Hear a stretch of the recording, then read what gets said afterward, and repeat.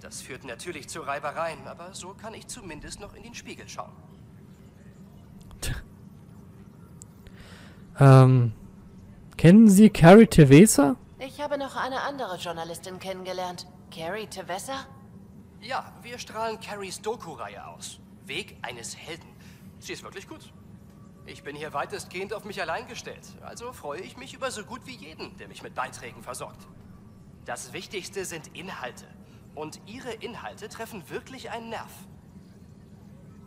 Mhm. Das ist vorerst alles. Wir reden später weiter, Davis. Hey, Ryder, bevor Sie gehen, ich bitte Sie nur ungern darum, aber ich habe den Eindruck, Sie kommen bei Ihrem Job ziemlich viel rum. Unter anderem an Orte, an denen man unsere Sendung noch nicht empfängt. Wenn ich also ein paar Empfänger auf Ihr Schiff bringen lasse, wären Sie dann so nett, sie auf einigen Planeten zu stationieren? So könnten wir selbst Kolonisten in den abgelegensten Winkeln mit Nachrichten versorgen. Hm. Na komm. Safety first. Okay, Davis. Ich helfe Ihnen, Ihre Reichweite zu erhöhen. Fantastisch. Stationieren Sie einfach in der Nähe eines Außenpostens einen Empfänger und schon werden Sie dort unsere Berichte erhalten. Ob die das auch gucken wollen, ist natürlich eine andere Frage. Sollte hier nicht irgendwo ein Affe sein? Kommandozentrale. Überwachungsaufnahmen. Oh. Ähm. Ach, das hatten wir doch schon gelesen. Ja, das hatte ich im, im ersten Part, hatte ich das schon... Oder in der ersten Aufnahme, nicht im ersten Part. Im ersten Part war ich wahrscheinlich nur in der Charaktererstellung. Hm, wir müssen mal ganz dringend zu unserem Bruder. Ei. Handelsdistrikt. Kryostation. Andockbucht. Wo komme ich denn zu Hyperion? Habitation. Moment. Ist das das? Trotz vereinzelter Proteste betrachten die meisten das Vortex als zivilisierte Möglichkeit, sich bei einem Drink von der Stase zu erholen. Das war HNS mit den aktuellsten Neuigkeiten.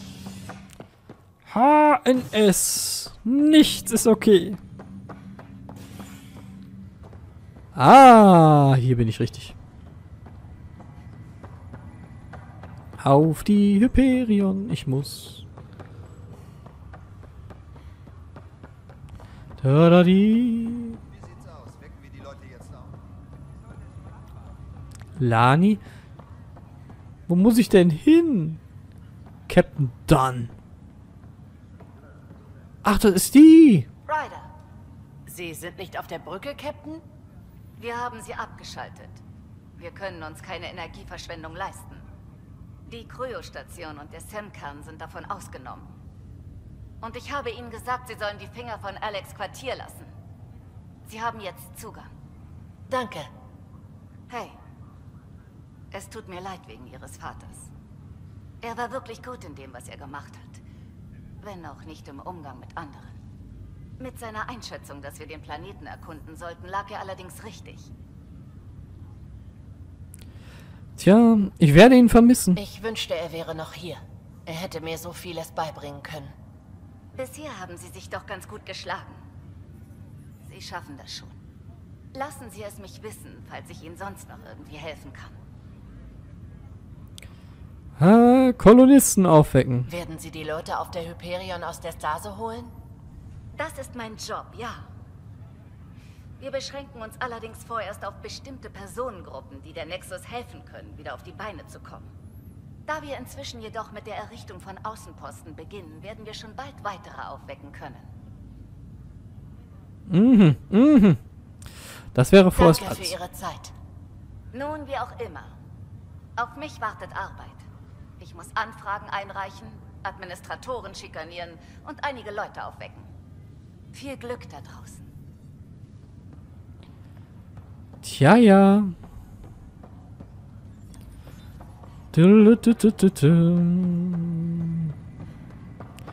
Wo ist denn der Alex? Hier ist der Sam-Kern. Hier ist das vom Vater. Ja, die Archivstation. Schubidubidu.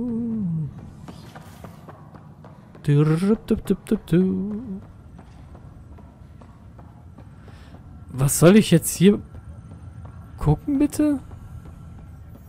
Wo ist denn Alex? Die Tür ist zu. Das sieht doch gut aus. Nee, das sieht, das sieht nicht gut aus.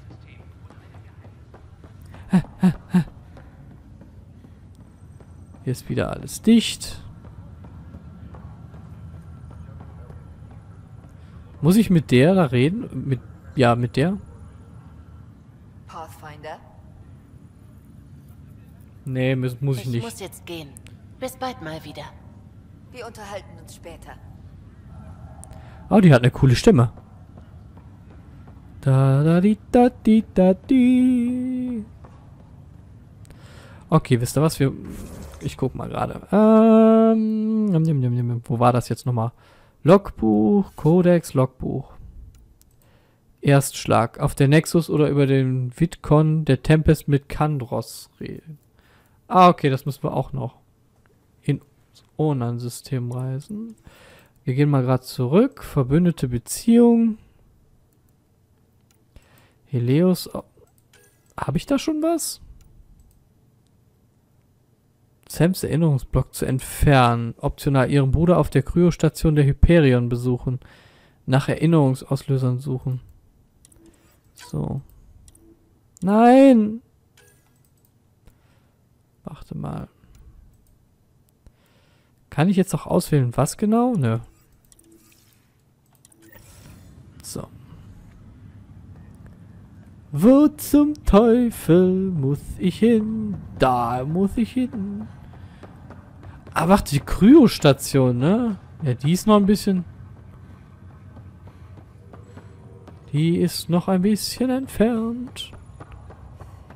Schubdubdubidubidu.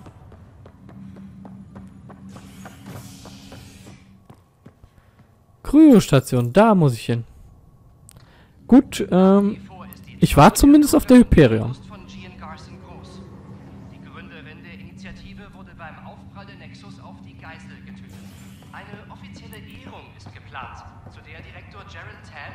Bisher kaum Einzelheiten bekannt gegeben hat. Ohne Gian wären wir nicht hier. Das ist nicht. Aber wir sind hier. Ich mach's wieder gut, Dash. So, Dr. Karl. Oder äh, wie der heißt. Harry, was passiert da mit Scott? Carrie. Wir haben ihn aus der Kapsel geholt. Ich will ihn keine allzu großen Hoffnungen machen, aber Sam hat ihn ähm, quasi gefunden. Was heißt das? Nun, er ist zwar immer noch im Koma, aber Sam hat es geschafft, auf sein Implantat zuzugreifen. Sie haben Kontakt. Das sind großartige Neuigkeiten. Das ist unglaublich. Geht es ihm gut? Die Werte sind stabil. Den Rest kann Ihnen Sam erläutern. Obwohl er im Koma liegt, sind Scotts mentale Prozesse aktiv. Es geht ihm also gut? Das können Sie ihn selbst fragen. Ich stelle eine Verbindung zu seinem Implantat her. Bitte. Scott? Kannst du mich hören? Schwesterherz? Ich verstehe das nicht. Was ist hier los? Es gab ein Problem mit deiner Stase-Kapsel. Du liegst auf der Hyperion im Koma. Verstehst du? Und wie unterhalten wir uns dann? Sam hat sich in dein Implantat eingeklinkt. Aber dir geht's gut. Dein Zustand ist stabil. Das muss ich dir wohl glauben. Komisch. Ich kann nichts fühlen, aber ich höre dich. Geht's Dad gut? Oh Gott. Ich habe geahnt, dass diese Frage kommt. Ich wusste, dass sie kommt. Entweder wir verheimlichen ihm und sagen es ihm später. Da wäre er richtig angepisst. Gerade sowas, wäre ich in seiner Situation, wäre ich auch angepisst, wenn man das bei mir machen würde. Aber ich weiß nicht, ob das so eine gute Idee ist, wenn wir ihm jetzt davon sagen, dass sein Vater gestorben ist, während er noch im Koma liegt. Ähm. Wir nehmen die Brachialmethode. Er ist. Wie soll ich dir das sagen? Er ist tot, Scott. Was? Es gab einen Unfall. Was für ein Unfall? Wie? Ich meine, Dad. Ich weiß, es ging alles so schnell. Niemand hätte etwas tun können. Das kann nicht sein. Glaub mir, er wäre sonst hier. Haben wir wenigstens ein Zuhause gefunden. Dad hat immer so davon geschwärmt. Oh. Eine scheiß Nachricht nach der anderen kriegt er jetzt über die Ohren geknallt. Ey, der, der sucht sich doch gleich freiwillig den Selbstmord aus, wenn ich ihm das alles sage. Äh, Es ist einiges schiefgelaufen. Es gab ein paar Komplikationen. Die goldenen Welten existieren nicht. Was soll das heißen? Ich dachte, Scott? hier, hier läuft alles falsch. Es, es ist ein Albtraum. Schon gut, Scott. Ich wollte dich nicht. Die Herzfrequenz steigt rapide an. Ich fühle mich nicht gut. Das reicht jetzt. Er muss sich ausruhen. Scott!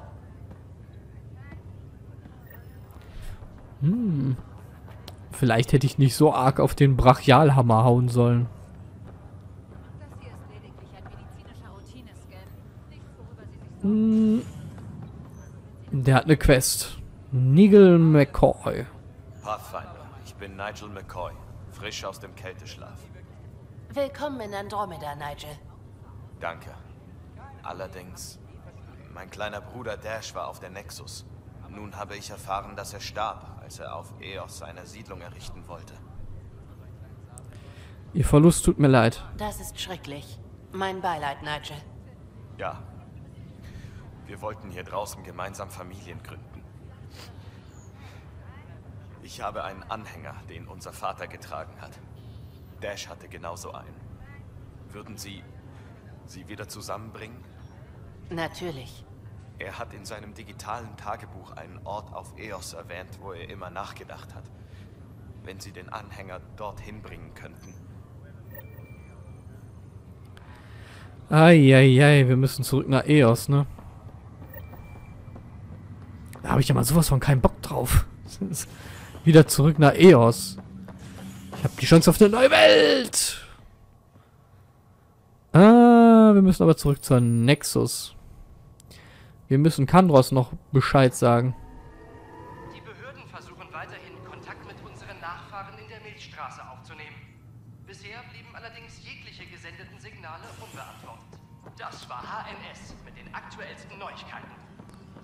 Kandros, Kandros, hallo lieber Kandros. Das ist die Konsole für unsere Einsatzteams. Worum handelt es sich dabei? Angriffs- und Exfiltrationstrupps. Und wenn wir die Besten brauchen, habe ich noch Apex. Kampfexperten, die sich verpflichtet haben, uns zu verteidigen. Da sie den Cluster quasi aus der ersten Reihe erleben, kann ich sie dazu autorisieren, die Teams einzusetzen. Sie vertrauen Sie mir an? Ich werde Ihre Leute umsichtig einsetzen, Kandros. Das weiß ich zu schätzen, Ryder. Aber glauben Sie mir, Apex kann auf sich selbst aufpassen. Autorisierung erteilt. Viel Glück da draußen. Boom, Baby. So, das heißt, wir können jetzt wieder ein bisschen loslegen. Jetzt habe ich quasi fast die ganze Aufnahme nur gequasselt. Das hier wird ja ja nicht. Weg.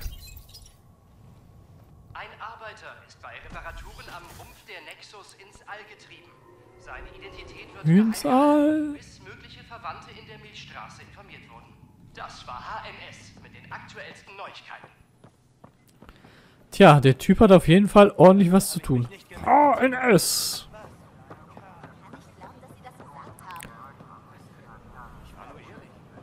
Es gibt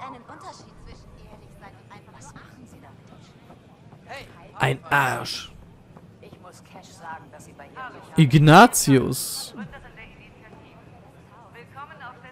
Äh, hallo. Gil Brody ist Ihr Techniker, stimmt's? Korrekt? Mein Name ist Bailey. Ich habe früher hier in den Hangars mit ihm zusammengearbeitet. Sie wissen nicht zufällig, ob er verfügbar ist, oder? Wofür verfü... Ich kann es mir schon denken, ich frage aber trotzdem mal. Das kommt darauf an, was Sie meinen. Er ist wegen seiner Pflichten ziemlich beschäftigt. Also ich meine... Ach, schon gut. Bestellen Sie ihm einfach Grüße von mir, okay? Ei, ei, ei. Oh, bye. Viva Amore. Rückkehr zur Tempest. Auf geht's in die Himmels. Die Frage ist ja jetzt, kriege ich jetzt automatisch diese Credits auf mein Konto? Oder allgemein diese Ressourcen? Wäre natürlich cool. Wäre kacke, wenn ich jetzt jedes Mal nach hier muss, um das Zeug abzuholen. Komm, gib Gummi!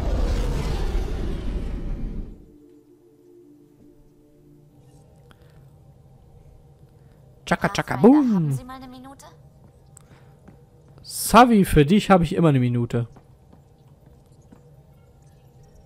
Scans der Geißel.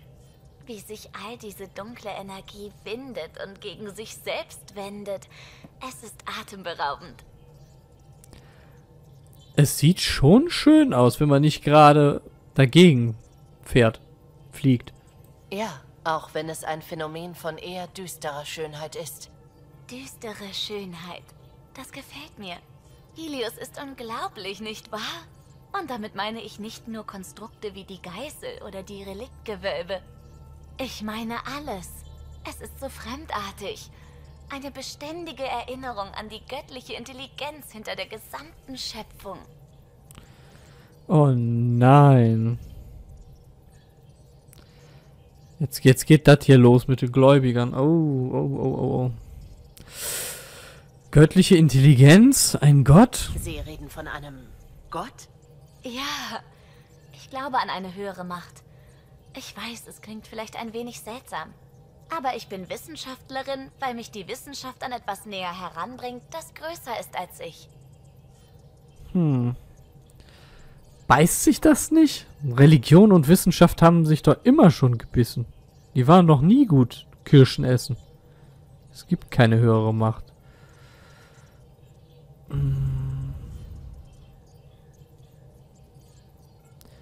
Wir sind mal politisch. Kann sein, kann nicht sein. Ich will jetzt auch nicht verneinen. Wir kennen ja das ganze Prozedere mit den Reapern und das war ja eine höhere Macht quasi. Ja, es hat schon was, sich etwas derart Erstaunlichem gegenüberzusehen, dass man einfach glauben will. Wow, es ist schön, jemandem zu begegnen, der es versteht. Ich musste mich schon so oft rechtfertigen. Als würde mein Glaube an das Göttliche meine Arbeit als Wissenschaftlerin in Frage stellen. Als könnte das Sakrale durch die Suche nach der Wahrheit herabgewürdigt werden. Hm. Ich mag ein facettenreiches Team. Ich mag es, wenn nicht alle Mitglieder meines Teams dieselben Ansichten vertreten. Sehr schön. Apropos Team. Ich sollte den Leuten auf der Nexus die neuesten Berichte schicken. Unterhalten wir uns später weiter? So. Carlo, was kann man für dich tun? Was kann man gegen dich tun? Freut mich, dass Sie vorbeikommen. Wenn es Sie nicht stört, behalte ich nebenbei unseren Vektor im Auge. Gute Idee. Ah, es gibt doch nichts Schöneres, als auf der Brücke seines eigenen Schiffes zu stehen, oder?